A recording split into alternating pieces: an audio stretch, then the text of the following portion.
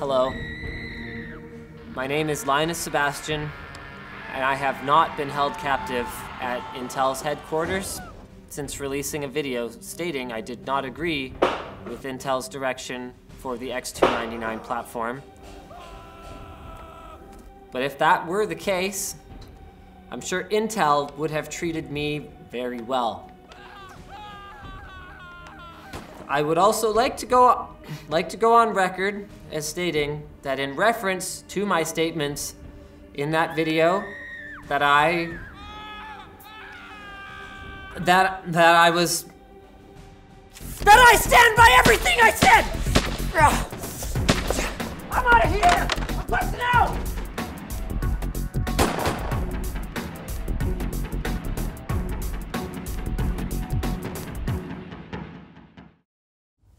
Synergy allows you to share your mouse and keyboard between multiple computers at once. Check it out now at the link in the video description.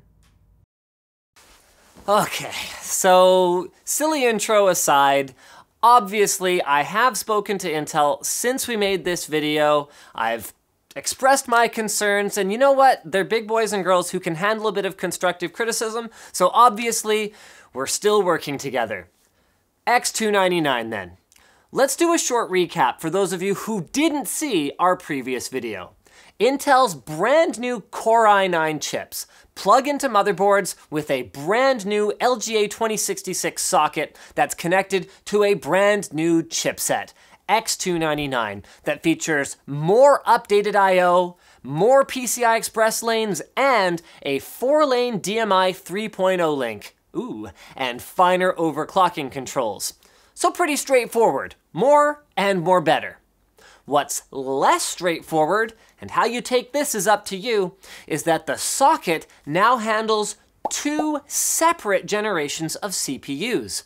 The first, Skylake X, is about what you would expect. It's this year's enthusiast grade high core count processor based on last year's quad core max consumer grade processor. So, we get some fancy architectural improvements, we get Turbo Boost Max that bumps up two cores instead of only one, and finally, support for AVX 512 outside of Xeon. And the second is Kaby Lake X. In an attempt to appease hardcore overclockers, Intel basically took their consumer grade Kaby Lake chips, disabled their integrated graphics processors, and glued them onto bigger packages with better power delivery characteristics and bigger heat spreaders. Intel hopes that these chips will be a boon to folks who don't have $1,000 for a Core i9 today, but want to have a solid upgrade path in the future. For my part, I feel like only being able to populate half of the RAM slots on a quad channel board and having PCI Express bandwidth potentially cut to less than half is a really confusing experience. Though I would love to hear from you guys in the comments if you feel differently. But wait, what? Less PCIe bandwidth? I thought you said more. Okay, so for the top end Core i9s, we actually get more than ever. 44 versus 40 on the previous flagship 6950X. Where that potentially less than half bit comes from is that anything other than a Core i9 gets far less, as few as only 16, which could affect the performance of demanding enthusiast features like SLI, 10 gigabit networking, M.2 RAID, or Thunderbolt 3. And on the subject of M.2 RAID, it looks like VROC doesn't have pricing yet, and Intel actually isn't quite sure how they're going to roll that out. But the good news is you can boot from NVMe RAID if it goes through the chipset without doing any of that stuff. It's only if it goes through the CPU that the VROC module is going to come into play. So let's get into benchmarks then. We, uh, unfortunately, didn't get a Kaby Lake X CPU in time for this video, but we did get the 10-core Core i9 7900X, the least expensive option with the full 44 PCI Express lanes. This, along with our nifty AF Asus Prime X299 Deluxe, some uh, overclocking elbow grease, all X200 compatible chips are unlocked, and some validated memory from G.Skill gives us our main test bench today.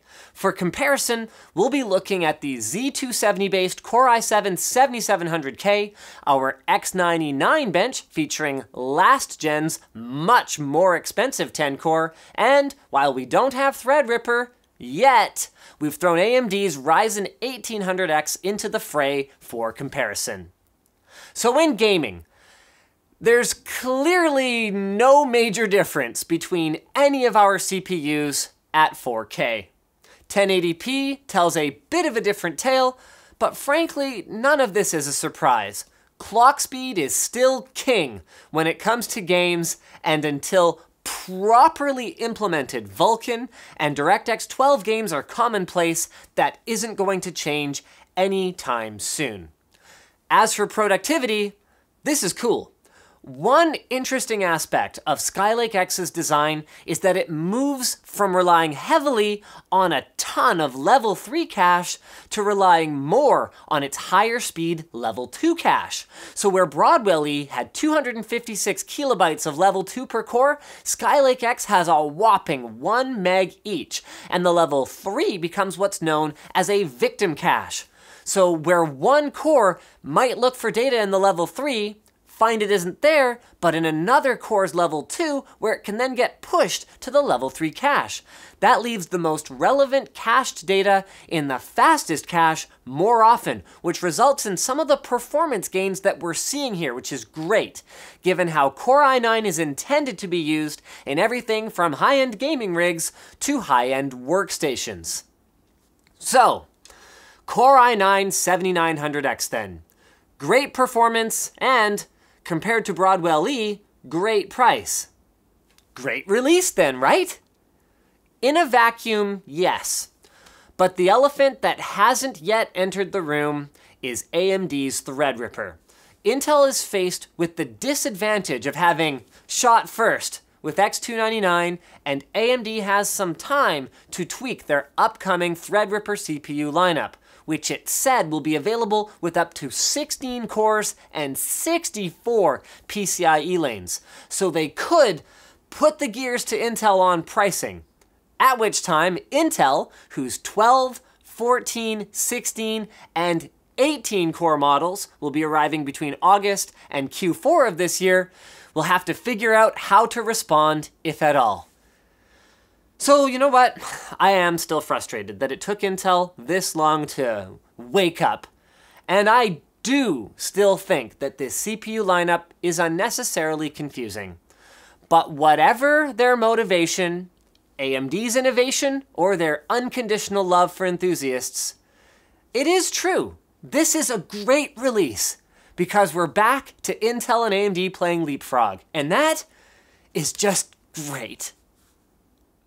Synergy solves once and for all the problem of having two keyboards and two mice at your desk. It lets you share a single mouse and keyboard between two or more computers, so you'll no longer confuse which one is for which. You just move the mouse across.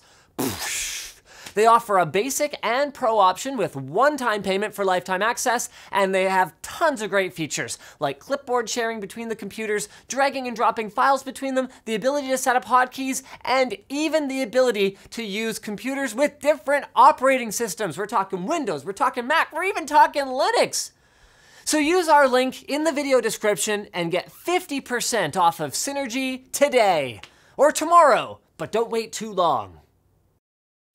So thanks for watching, guys. If this video sucked, you know what to do. But if it was awesome, get subscribed, hit that like button, and maybe check out where to buy the stuff we featured at the link in the video description. Also down there is a link to our merch store, which has cool shirts like this one, and our community forum, which you should totally join.